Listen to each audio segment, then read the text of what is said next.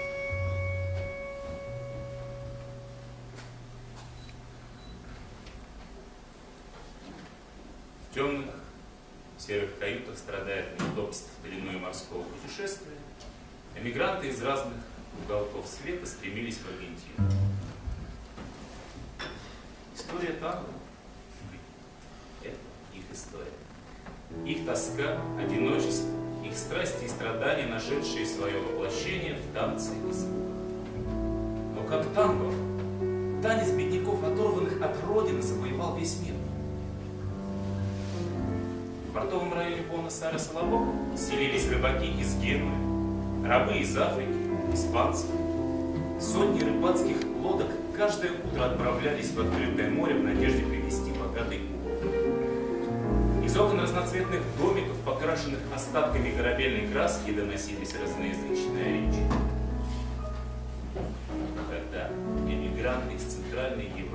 Привезли бандонеон, скрипку и контрабас, а из Восточной Европы приехали красивые женщины, меланхоличная и страстная музыка танго зазвучала отовсюду.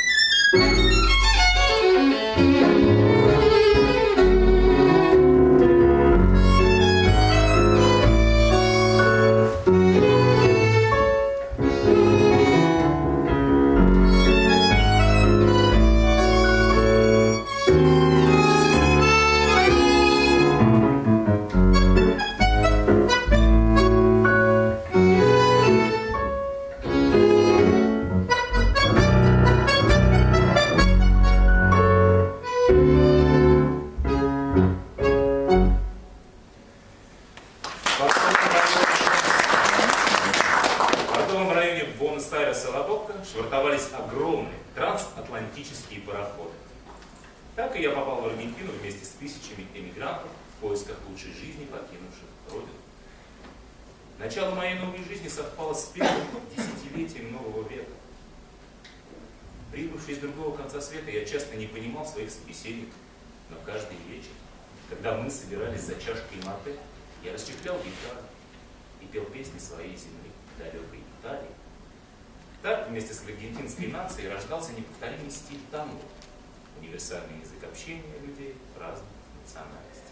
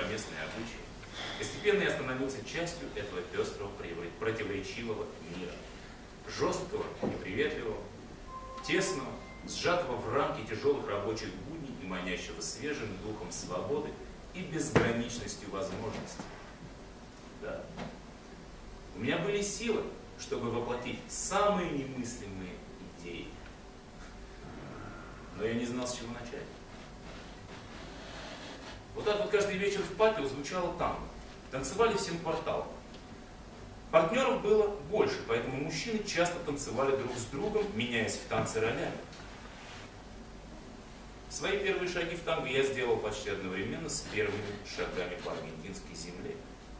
И через несколько лет мне не было здесь равно. Но во всяком случае, так считал я. Но это было пока.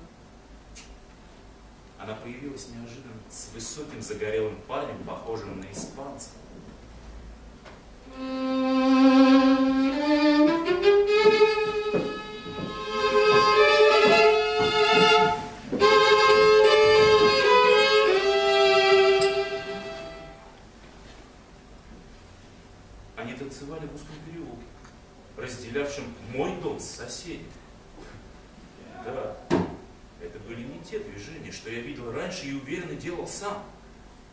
Танец улицы, где позволялось все, а отношения, похожие на разговор двух влюбленных.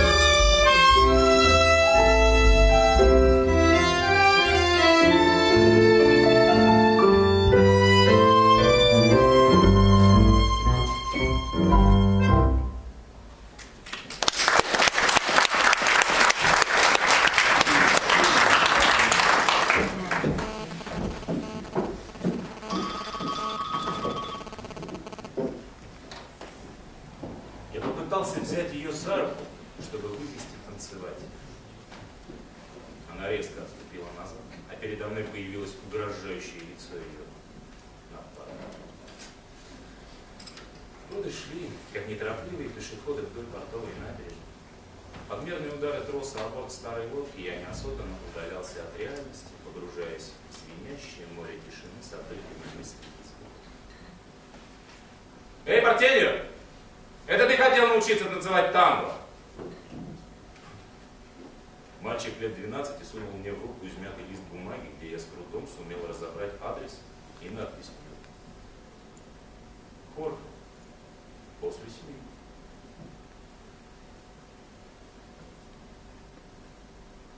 Хорхе.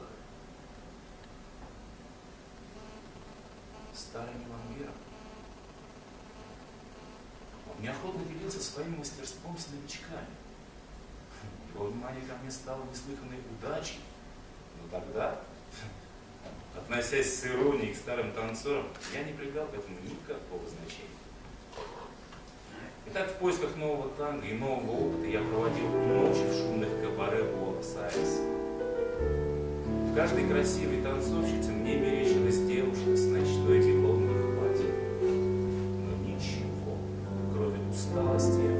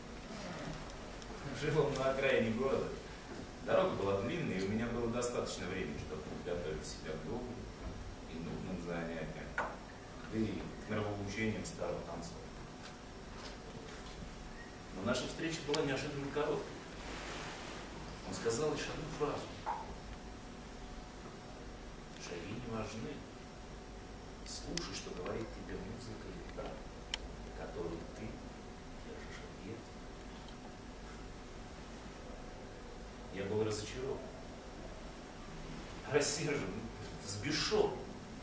Единственная нить, которая могла бы вывести меня из лабиринта, оторвалась.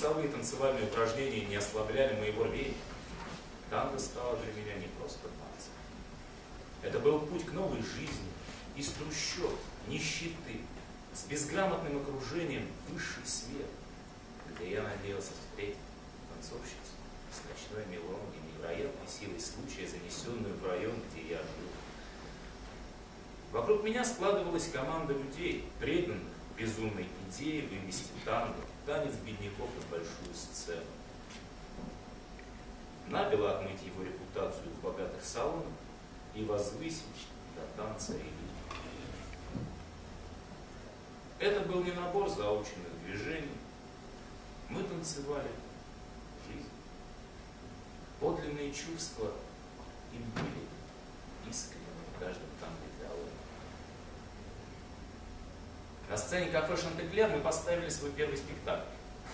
Да. Я хорошо помню это яркое шоу с зажигательной музыкой в исполнении небольшого танго-оркестра. Мы принесли дух старого Буэнос-Айреса. Он грустил и веселился, плакал над разбитыми надеждами и колко шутил, задираясь, смеясь и кружась в безудержном темпе.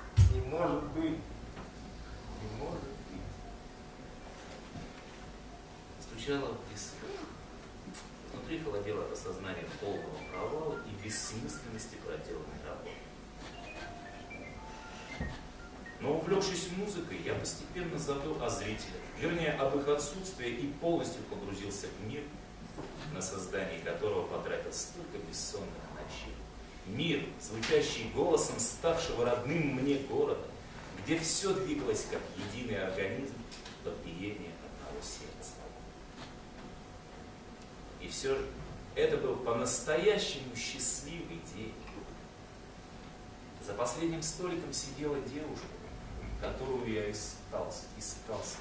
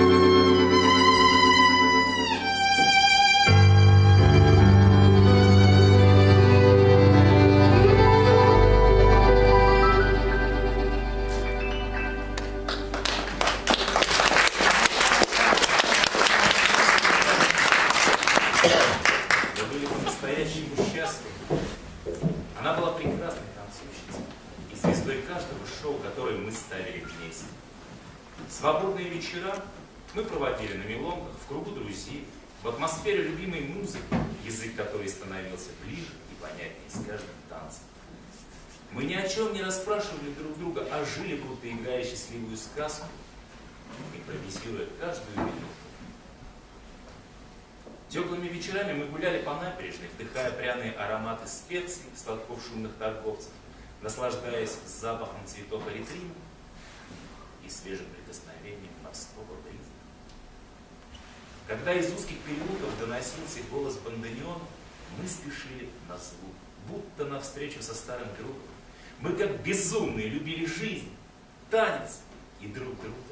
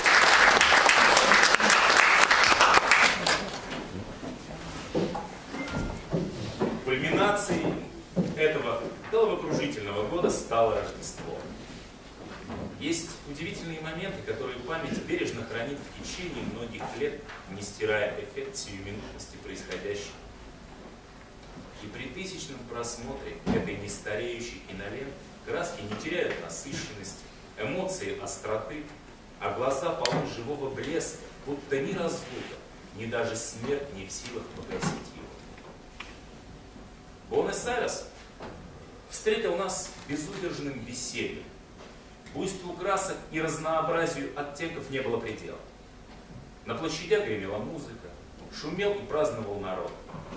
Из кафе сквозь звон стаканов и смех доносились звуки самбо. На улицах, в парках танцевали меломры, а под вечер город вспыхнул огнем сотни фейерверков.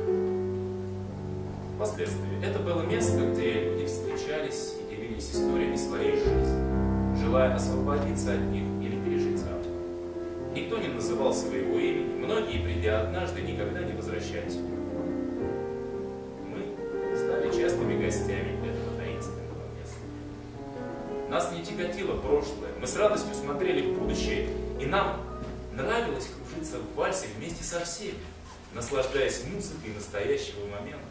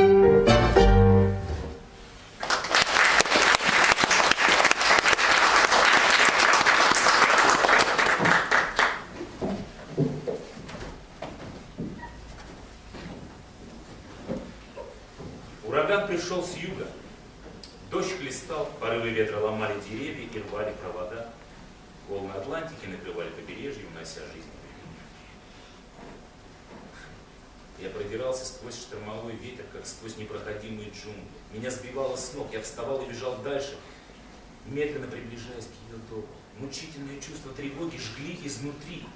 Не чувствуя усталости, не ощущая израненного тела, я ворвался в дом. Дверь была открыта, замок сорван. Мародеры, пользуясь человеческим горем, не пускали своей беды. Оконные рамы трещали от шквального ветра, но еще сдерживали его, защищая комнату от разрушителя.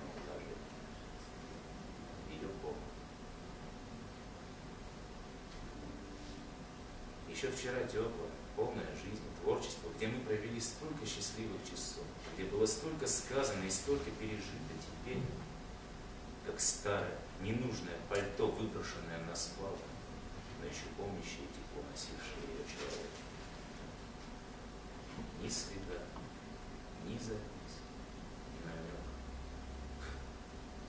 А я тщетно все искал, и искал несуществующую зацепку.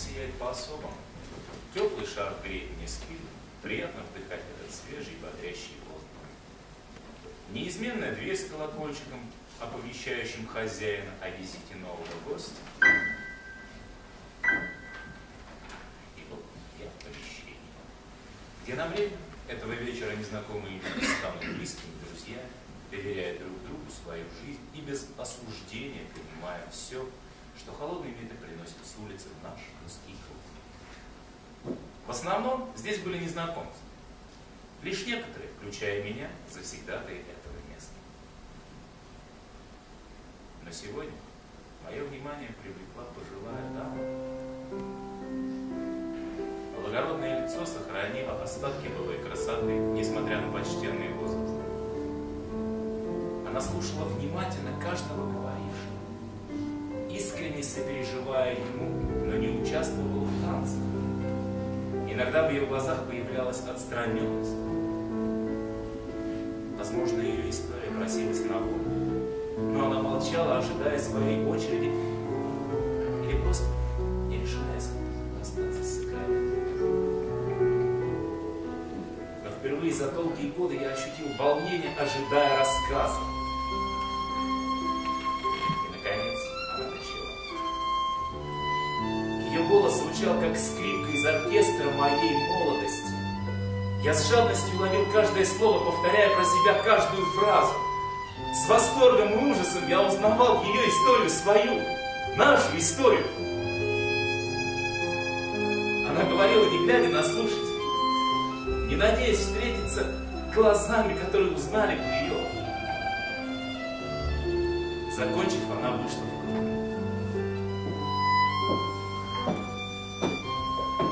И я ощутил ее взгляд. В нем не было ни слез, ни упрека, ни удивления, лишь покой и неотвратимость. Неотвратимость жизни, вошедшей в эту дверь вместе с этой силой